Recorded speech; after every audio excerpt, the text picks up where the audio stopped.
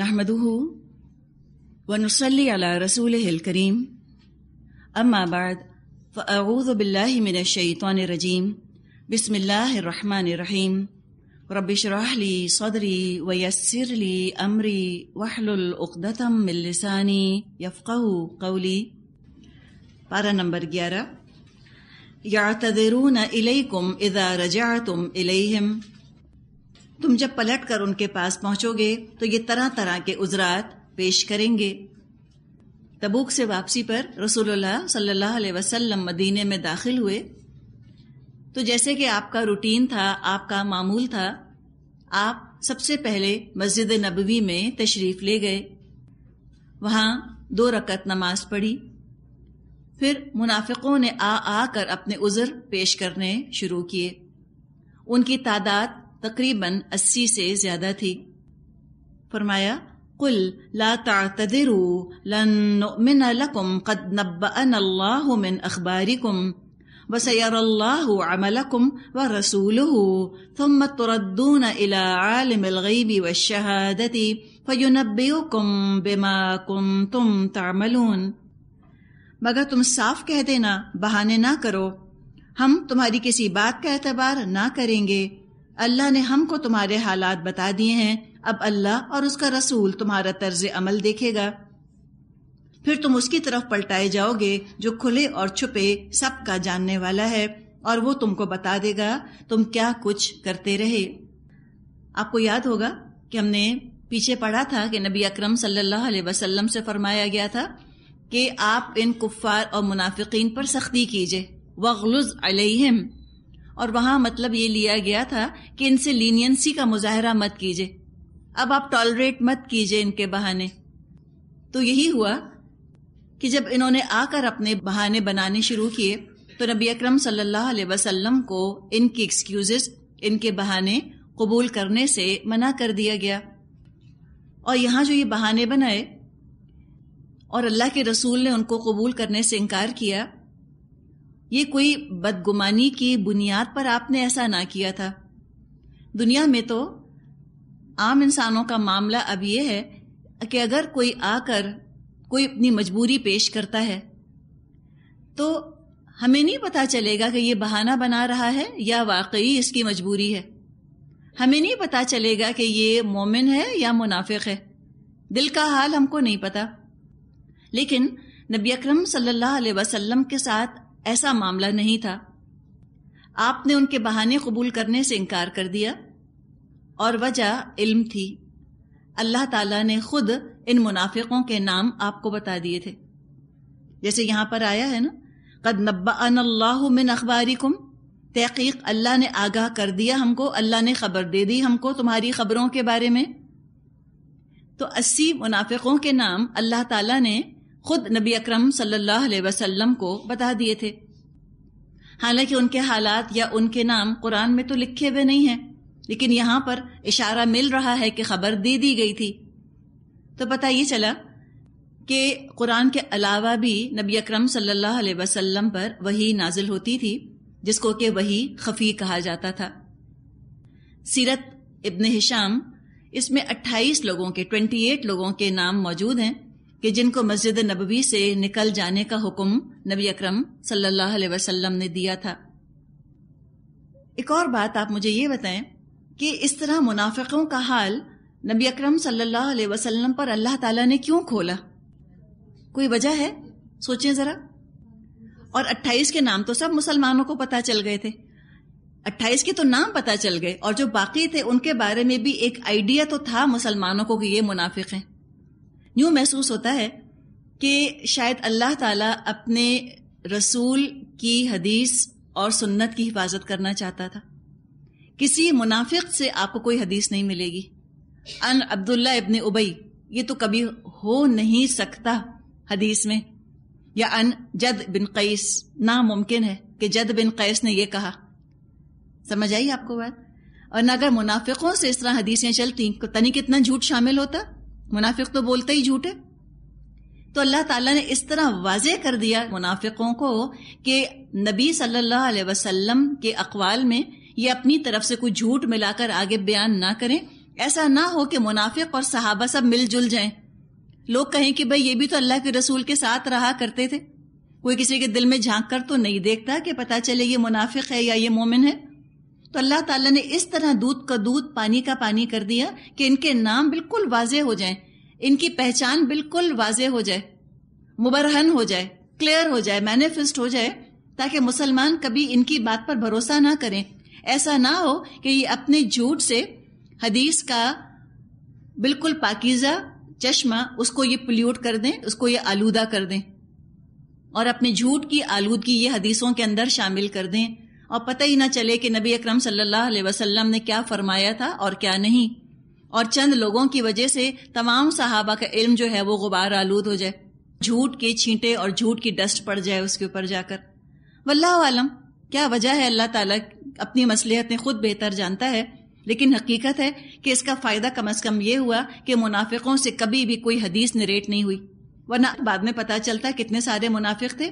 और पता तो हमेशा से था कि मुनाफिक है नबी अकरम सल्लल्लाहु के इर्द गिर्द।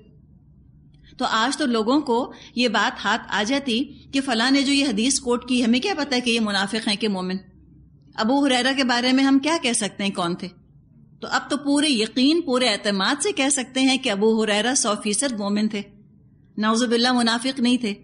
और जितनी अहादीस आपको मिलेंगी, अल्हम्दुलिल्लाह, तमाम साहबा से जो कोटेड हैं, वो सब मोमिन थे। और इनकी बदकिस्मती देखे मुनाफिकों की कि अल्लाह के रसूल के साथ रहे, सोहबत में रहे, लेकिन सहाबी नहीं कहलाए।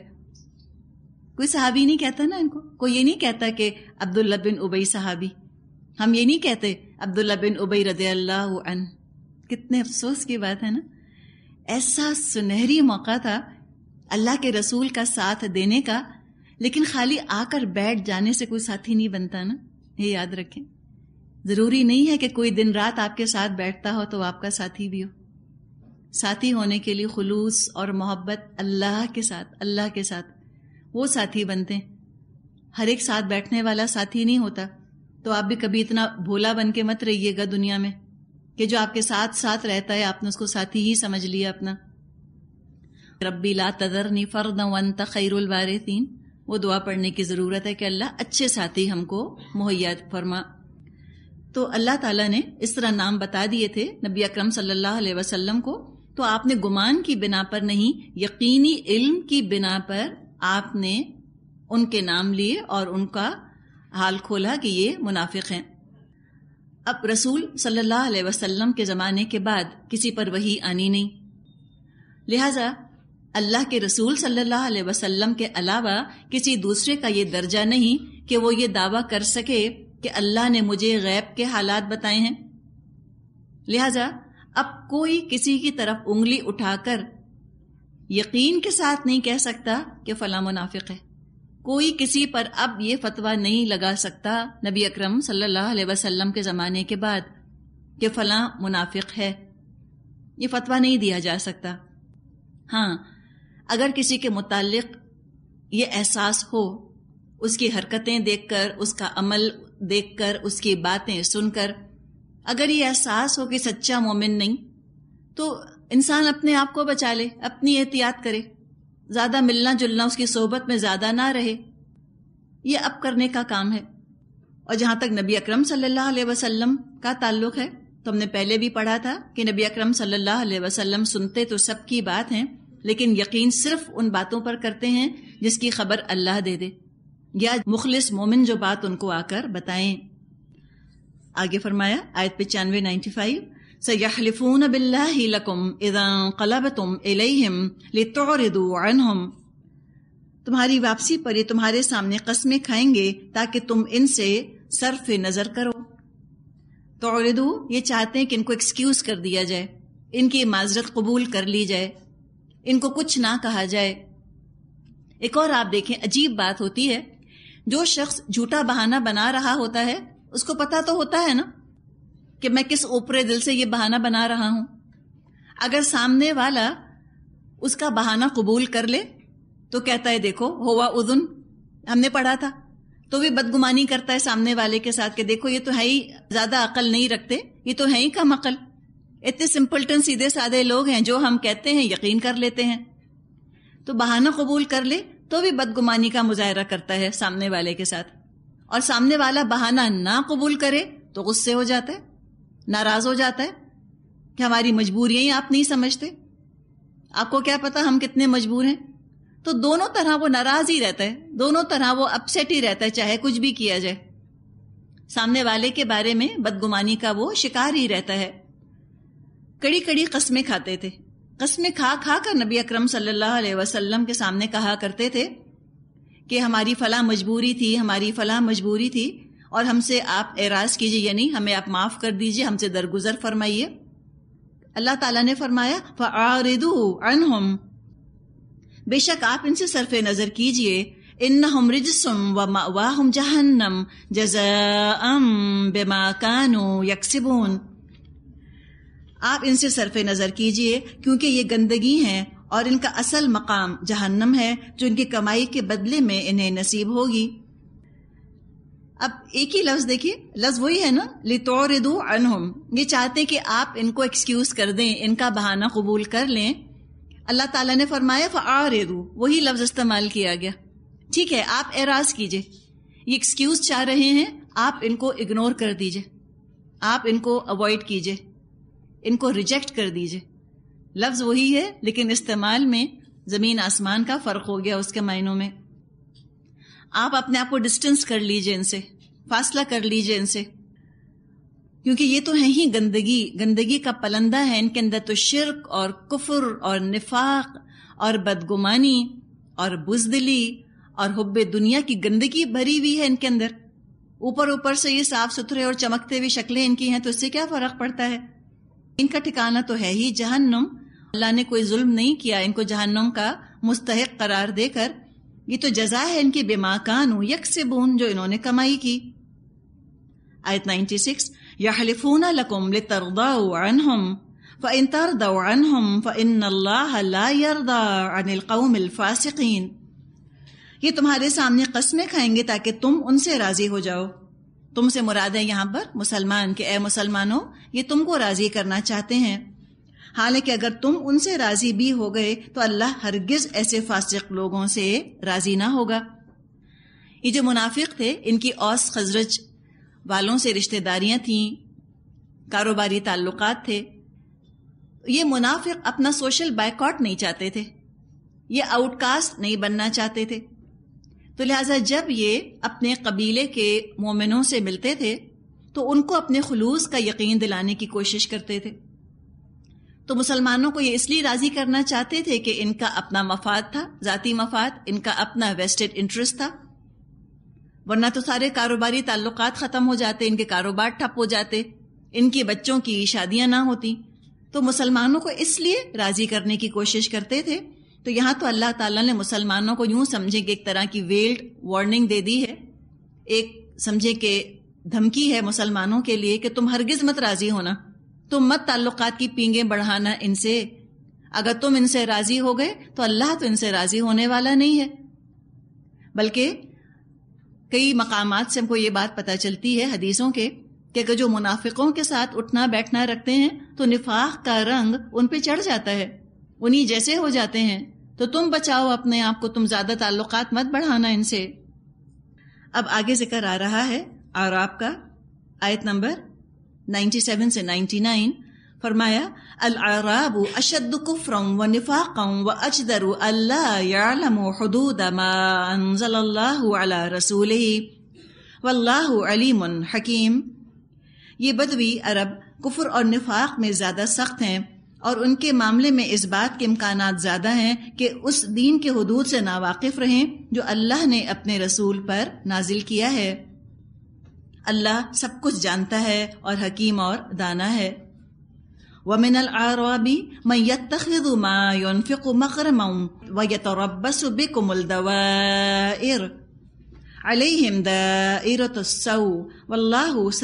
अलीम।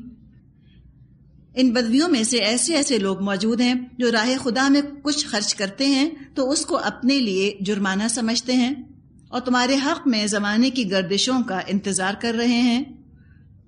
हालाँकि बदी का चक्कर खुद इन्हीं पर मुसलत है और अल्लाह सब सुनता और जानता है।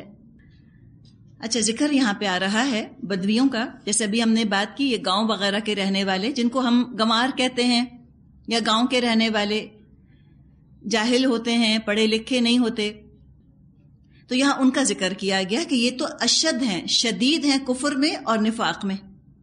और ये अल्लाह की हदूद नहीं जानते। पता ये चला कि एक निफाक आता है दौलत की, मोहब्बत की वजह से, और एक निफाक आता है लाइलमी की वजह से। हम लाइलमी को ब्लिस समझते हैं. इग्नोरेंस इज़ ब्लिस लोग कहते हैं, ना इल्म हासिल करो, ना पकड़े जाओ. ये तो बजाते खुद निफाक की अलामत है. सिर्फ़ मुनाफिक ही होता है जो इल्म हासिल करना नहीं चाहता. याद रखिएगा. और वो एक तरह से नेकी का दावा करते हैं. एक तरह से प्रटेंड करते हैं कि हम अल्लाह से बहुत डरते हैं. हमें अल्लाह की पकड़ का बहुत डर है. चूँकि हम अल्लाह से बहुत डरते हैं, लिहाजा हमको इल्म हासिल नहीं करना। चूँकि इल्म हासिल कर लेंगे तो पकड़े जाएँगे। ये तो बिल्कुल वही वाली बात है ना, जो जद बिन कैस ने कही थी। ए दिल्ली वाला तफसिन्नी, कि मुझको इजाज़त दे दीजिए, मुझे फितने में मत डालिए। याद है आपको? उसने कहा था, औरतें बड़ी हसीन होती हैं, मैं तो फितने में पड़ जाऊँगा। तो एग्जैक्टली ये चीज़ नहीं है कि कहा जाए कि देखिए प्लीज़ हमको आप इल्म मत सिखाइए। इल्म की बात हमसे मत कीजिए। हमें मत इनवाइट कीजिए कि तुम आकर इल्म हासिल करो। अगर हमने इल्म हासिल कर लिया तो हम फितने में पड़ जाएँगे। अल्लाह ताला का तबसरा था ना कि अल्लाह आगा हो जाओ, फिल फितनती सखतू। फितने में तो पड़ चुके। तो जो इल्म से दामन बचाता है, वो तो निफाक में पड़ चुका। इग्नोरेंस ब्लिस नहीं है। इग्नोरेंस इज़ हिपोक्रेसी आपने यहाँ पर लिखा हुआ देखा होगा, जो ट्रैफ़िक के कवानी लिखे हैं इन्होंने सड़क पर। लिखा है ना कि ignorance of law is no excuse ये कहना कि हमें कानून पता नहीं था, ये कोई बहाना नहीं है, ये कबूल नहीं किया जाएगा। तो इतने इतने से ट्रैफ़िक के कवानीन के बारे में जब ये सूरत हाल है तो इतना बड़ा कानून अल्लाह ने जो दे दिया, उसके बारे में कोई ला इल्म रहे तो क्या अल्लाह के यहाँ ये बहाना कबूल किया जाएगा? अल्लाह खूब समझता है। सब अल्लाह को पता है कि अपने निफाक की वजह से इन्होंने इल्म हासिल ना करना चाहा। जो भी मुसलमान होने का दावा करता है, उसके लिए ज़रूरी है कि दीन का इल्म हासिल करे। हदीस में आता है तलब इल्मी फरीगतुन, इल्म हासिल करना फ़र्ज़ है अला कुल्ली मुस्लिम हर मुसलमान के ऊपर। अगर किसी के पास दुनिया का इल्म नहीं, दुनिया की डिग्रीज नहीं है, उसने मेट्रिक या ओ लेवल्स या ए लेवल्स या जो भी कुछ है उसने नहीं पढ़ा, हो सकता है कि दुनिया के लिहाज से अनपढ़ हो। लेकिन दुनिया के इल्म से लाताल्लुक रहना हरगिज इस बात की एक्सक्यूज नहीं है कि वो दीन के इल्म से भी लाताल्लुक रह जाए। ये कोई बहाना नहीं है कि वो तो पढ़ा लिखा नहीं। उसने तो स्कूल में नहीं पढ़ा तो वो कुरान भी नहीं पढ़ सकता। या पाकी ना पाकी का फ़राइज का इल्म उसके पास नहीं है। ये अल्लाह के यहाँ बहाना नहीं बनेगा। शहरों में तो आप देखें कि कॉस्मोपॉलिटन माहौल होता है ना। ट्रेडिशन की गिरफ्त बहुत ढीली पड़ चुकी होती है। आजकल भी हम देख रहे हैं कि जो बड़े बड़े शहर हैं, इसके अंदर फिर भी इस्लाम का कुछ ना कुछ रिवाइवल है। कुछ इस्लाम दोबारा से ज़िंदा होता नज़र आ रहा है। दिमाग खुले हुए होते हैं। तो शहरों में ये इल्म की वजह से हुआ। इल्म आया तो लोगों के दिमाग खुले। उन्होंने रिवायत को रिजेक्ट किया और इस्लाम को कबूल किया। जबकि शहरों में आप देखिए कि दीन पर चलना निस्बतन आसान है। जहाँ तक गाँवों का ताल्लुक है, देहातों का ताल्लुक है, उनका तो जरगा सिस्टम चलता है। ट्राइबल कस्टम्स चलते हैं वहाँ पर। बहुत से बहुत उनको कलमा आता है, नमाज़ भी इक्का दुक्का ही को आती है। नमाज़ रोजा करने वाले भी कम ही मुसलमान हैं जो गाँव में पाए जाते हैं। शहर में रहने वालों को ख्याल क्या होता है कि शहर में दीन पर चलना बड़ा मुश्किल है, और गाँवों के अंदर तो सारे पक्के मुसलमान हैं। सब जो है बाअमल मुसलमान बैठे हैं। आप कभी गाँवों के अंदर जाकर देखिए तो क्या हाल है? कौन सी बुराई है जो आपको वहाँ नहीं मिलेगी? और दीन के बारे में इल्म ही नहीं उनके पास। तो लिहाजा, उन तक भी दीन का इल्म पहुंचाना निहायत ज़रूरी है। हर सतह, हर लेवल तक दीन का इल्म जब एक दफ़ा पहुँच जाता है तो फिर इस्लाम जो है वो सही तरह से ग्रास रूट लेवल तक पहुंचकर फिर वो इम्प्लीमेंट हो सकता है। ऊपर से लेकर, हुकूमत की सतह से लेकर और गाँव में रहने वालों तक। जब ये दीन का इल्म हासिल कर लेते हैं, तब स्टेबल इस्लाम कायम होता है। उस जमाने में भी यही हाल था, आज से चौदह सौ साल पहले।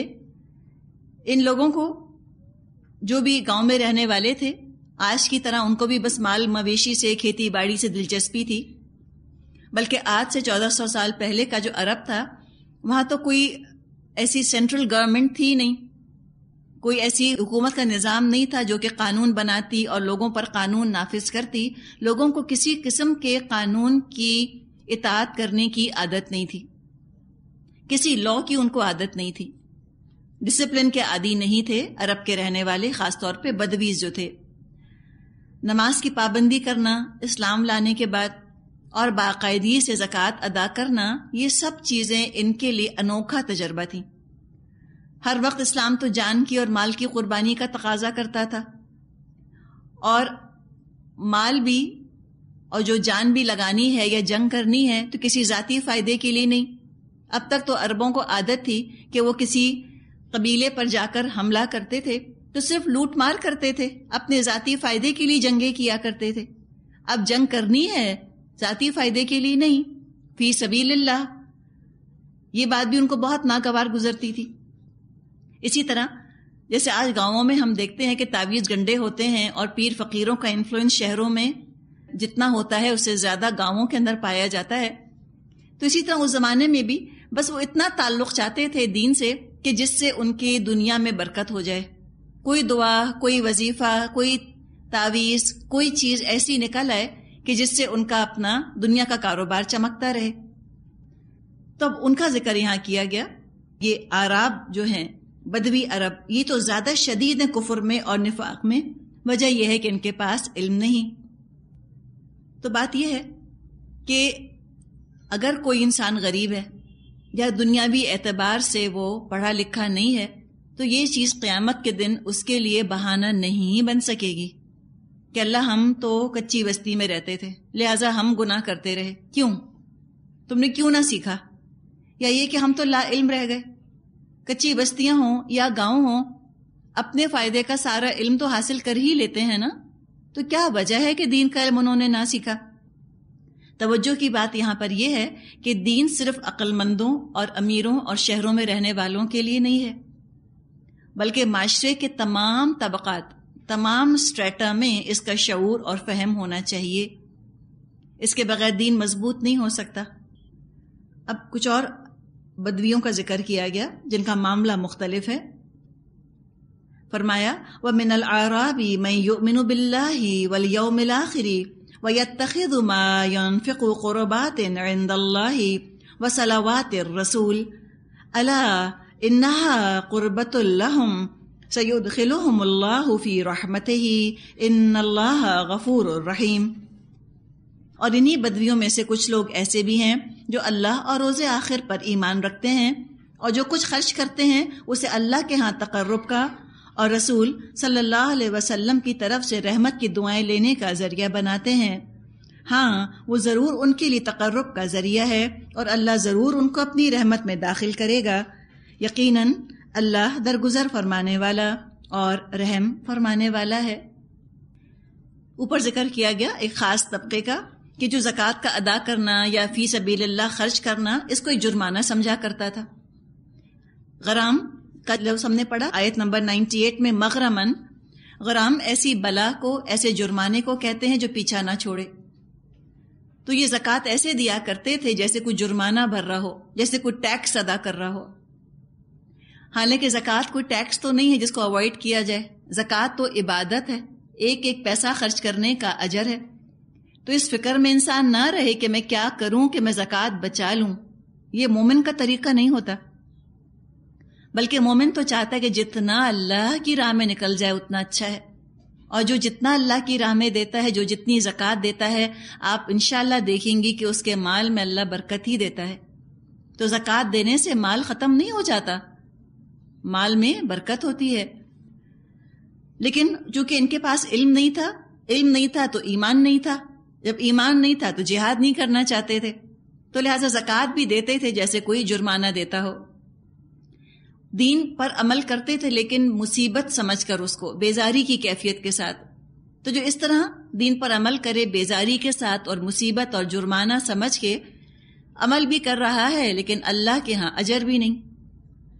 हमने पढ़ा था मुनाफिकों के बारे में कि नमाज़ भी ऐसे पढ़ते हैं जैसे कि कोई बोझ है उनके लिए। इल्ला कुसाला, सुस्ती के साथ नमाज़ पढ़ते हैं। तो सोशल प्रेशर की वजह से ये जक़ात दे रहे हैं, सोशल प्रेशर की वजह से ये नमाज़ पढ़ते हैं। अगर ये प्रेशर हट जाए, लोगों का दबाव या हुकूमत का दबाव हट जाए तो ये तो पूरी आमादगी के साथ और शौक के साथ काम भी ना करें। लेकिन सारे ऐसे नहीं हैं। बहुत से इनमें से फरमाया ऐसे भी हैं जो अल्लाह पर ईमान रखते हैं, आखिरत पर ईमान रखते हैं, और जो ये खर्च करते हैं, ये चाहते हैं कि उसकी वजह से ये अल्लाह का कुर्ब हासिल करें। जब ये खर्च करते हैं अल्लाह की राह में तो रसूल इनको दुआएँ देते हैं, और अल्लाह की राह में खर्च करना और रसूल की दुआओं का मुस्तक होना, ये तो अल्लाह की कुर्बत का सबब बन जाता है। कुर्बात जो लफ्ज़ पढ़ा हमने, ये कुर्बानी इसी से लफ्ज़ बना है ना, अल्लाह की नज़दीकी। तो ऐसे काम करना कि जिनसे कि अल्लाह के रसूल राज़ी हों। ये दरअसल अल्लाह ही क्या कुर्ब हासिल करने का ज़रिया बनती हैं ये चीज़ें। और जो इंसान अल्लाह की राह में जितना खर्च करता है, उतना वो अल्लाह के करीब होता चला जाता है। तो कोई वजह नहीं कि इंसान जक़ात देना एक जुर्माना समझे या बोझ समझे या अल्लाह की राह में सदका और खैरात करना उसको मुसीबत लगे। अपनी खुशकिस्मती अल्लाह का करम समझ के ये ऐसे लोग हैं जो कि अल्लाह की राह में खर्च करते हैं। तो उनको खुशखबरी सुना दी गई कि जिसकी तमन्ना इनके दिलों के अंदर है सयुद खिलो फिर रहमत ही अन करीब अल्लाह इनको अपनी रहमत में दाखिल फरमा लेगा। इनकी खताओं से दरगुजर फरमाएगा। गफूर है। अल्लाह अपना करम इन पर फरमाएगा, रहीम है, रहम फरमाने वाला है। वलाखिर दावाना अनिलहमदिल्ला रबालमीन